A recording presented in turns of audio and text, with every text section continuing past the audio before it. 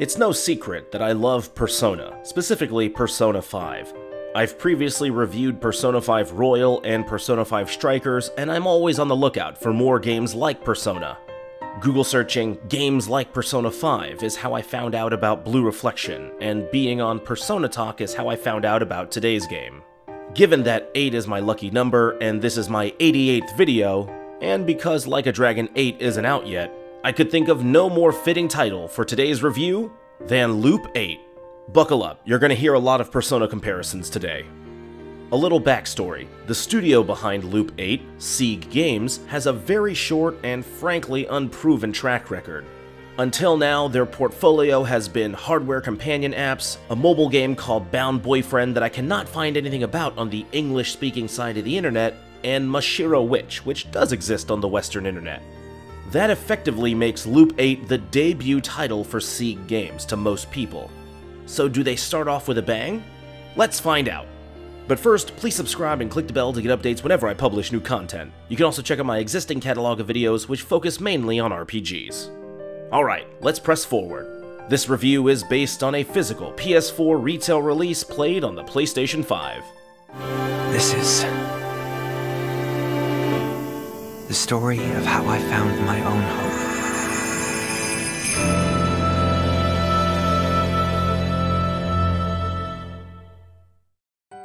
Loop 8 follows a high school aged boy named Nini who moves to the seaside town of Ashihara from his home in outer space. No, you didn't accidentally turn two pages at once, that's what actually happens. During Nini's time in Ashihara, mysterious beings called Kegai begin randomly possessing the townsfolk, and it's up to Nini to exorcise the Kegai spirits. Should Nini fail at any point, time will reset to the beginning of August, the titular loop of the titular 8th month. Nini's goal is to save the townsfolk and make it to September. Weird space based backstory aside, I'm a sucker for this premise. Young everyman moves to backwater Japanese town is the exact setup of Persona 4, and I'm all about it. Further, strange monsters arrive on Earth to wipe out humanity is the premise of Neon Genesis Evangelion, so I am twice as about it. Where the story begins to lose me is in the details. I would say the first 5 or 6 hours I was confused by everything from the time loop mechanic to things as simple as the main character's name. It's easy to get narratively lost. Not to say the story is complicated, it's just obtuse, but the dialogue is dense and a lot of it is written to be intentionally enigmatic. I don't think the story is overtly bad, but it's not really good either. It's just incredibly dialogue heavy. The journey was such a trudge to get through that by the time I reached the end, I didn't enjoy it as much as I was relieved that it was over. 8 won't win any awards for its graphical presentation, but it's quite eye-catching in its own way. A little fact about me, I love rural Japan. I think it's beautiful and highly underappreciated in Western depictions of the country. That's part of why I love the 2008 Academy Award Best Foreign Film winner Departures, part of my love for Ghost of Tsushima, and obviously part of why I love Persona 4. I think Loop 8's depiction of a small Japanese town is lovely, and the close-knit community therein serves as an emotional through line to the rest of the story. While it never feels as lively as the aforementioned pieces of media, Loop 8's Ashihara still captures the essence of classic small-town Japan down to the minutiae, from the railway crossing to Main Street, from the stairs upon a mountain to the sandy beach, Ashihara feels like it was cut and pasted straight from late 20th century Japan, and I love that. On the technical side, Loop 8 is unimpressive. There's noticeable aliasing, though not as bad as I've seen elsewhere, and the lighting and shadows are all pretty much baked into the time of day. Few places in this small town showcase any local illumination, and pretty much none of the effects are dynamic. It's all very simple and straightforward. However, I suppose it's better than visual novels that are predominantly composed of static images. Of course, the frame rate is the main stickler. While the game runs at a consistent frame rate, movement animations lack fluidity. And I don't just mean running around, I mean any kind of movement. I'm not sure if it's a deliberate choice, but it's surely not going to sit well with more than a few players. You can definitely see that this is a mid-shelf game at best. Musically, Loop 8 has its nice moments, but there simply isn't enough backing music to keep the audio from feeling repetitive. There are only a few audio tracks and a small handful play repeatedly over the day-to-day -day events of the game. I'm not even gonna do my usual shtick of playing a few tracks for you because there just aren't enough songs to make such an exhibition worthwhile. On the other hand, despite the clearly limiting budget of the game, Loop 8 has both English and Japanese voice acting. Most of the performances are pretty good in both languages, so take your pick on what you prefer. I actually quite like Nini's voice in both English and Japanese.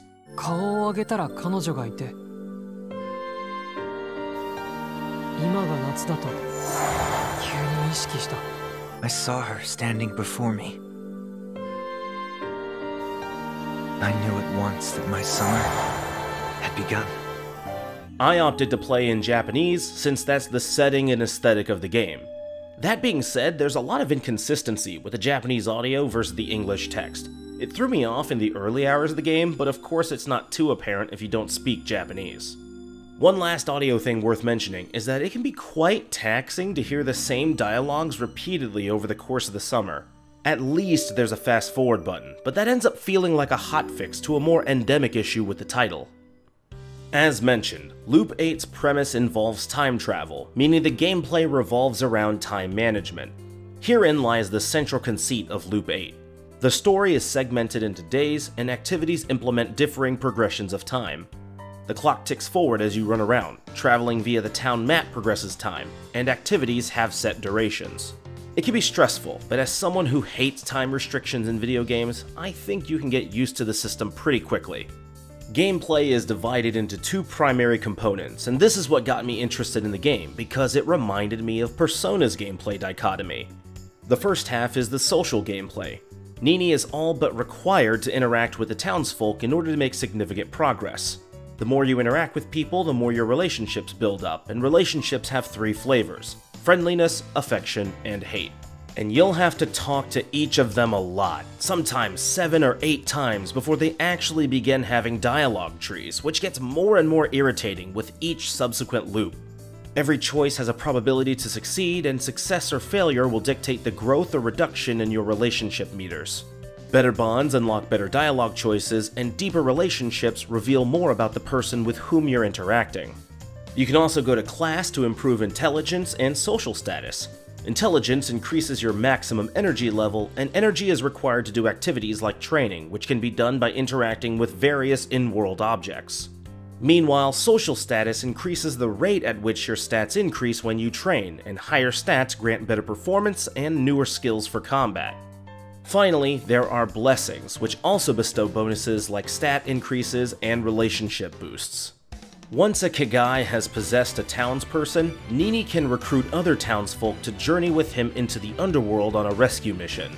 Party members each have relationships with one another, so it's best to drag along people that are in good standing with the possessed town person. Combat is turn-based and attacks are based on the three emotional states. The player only controls Nini, but his Demon Sight ability can predict the actions of his allies, allowing the player to plan accordingly. Friendliness and affection are the most consistent attacks, but are subsequently weaker. Hatred is the strongest attack, but can also empower the enemies you face, so it's a bit of a double-edged sword. Should, or rather when, the player fails a loop, time will reset to the beginning of the month, and that means everything else resets as well.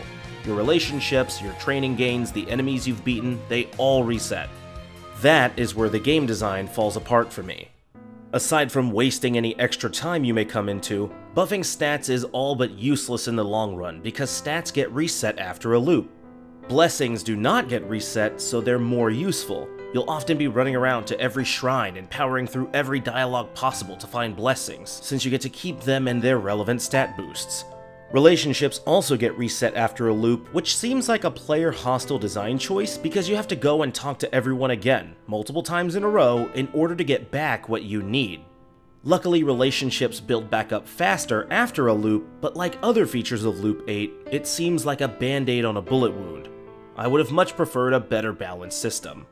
For combat, it's admittedly a letdown that Loop 8 doesn't feature dungeons, Kegai are battled in a palette-swapped version of Ashihara, and I think unique or even procedurally generated dungeons like those in Persona would have been a significant boon to Loop 8's later hours. Further, it's unfortunate that the game never forces you into making gambit emotion attack decisions. As far as I can tell, there are never enemies that have attack phases or buff periods that can be cancelled or interrupted with hate attacks. Had Loop 8 implemented battle scenarios like those, the combat might not have been so one note. I stuck to using friendliness attacks the whole game and I made out just fine. Maybe it's not in the spirit of the game, but I found that I made better progress just save scumming. You can save and load whenever, so I just saved before every major decision and dialogue to ensure that relationships and gains built out in as positive a manner as possible. This dominant strategy effectively carried me throughout the rest of the game, it wasn't pretty, but it worked better than anything else. And for anybody that may be upset at me for save scumming my way to victory, I gotta tell ya, I enjoyed gaming the system way more than I enjoyed playing the game the intended way. Even basic traversal is frustrating because Nini's movement is so slow.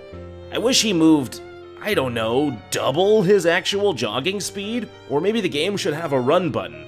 It's frankly infuriating to watch him lightly jog around while the fate of mankind hangs in the balance. And this only becomes more true as you enter your 6th, 7th, 8th, or more loop of the game. Look, I really wanted to like this game. Aesthetically, conceptually, thematically, Loop 8 is right up my alley. A new RPG from a new developer set in seaside rural Japan, the very Japan I fell in love with. But actually playing this game is a test of patience. For all its strength and deftness and theming, it fails in a dozen other ways elsewhere. The visuals are weak, the audio is bare bones, the gameplay is a drag, and the core design is flawed. There are so many design choices that could have made this game better. Instead of resetting an entire month, what if it only reset you back to after the last Kegai you defeated? What if dialogues weren't so exhaustingly expositional for every character since you know you're gonna have to talk to these party members day in and day out? How about making Nini walk 7,000% faster, or adding a run button so he can actually have a bit of urgency with what he's doing? A few basic quality of life changes would have gone a long way towards making this game at least palatable. There are so many good ideas here, but few of them work intuitively. If you're a visual novel and role playing game fan, you may find more to love here than me. But sadly, in my eyes, Sieg Game's home console debut feels like it's just spinning its wheels. Loop 8 on PlayStation 4 earns a 3.5 out of 10. こちらのチャンネル購読お願いします。見てくれてありがとうございます。ごきげんよう。さようなら。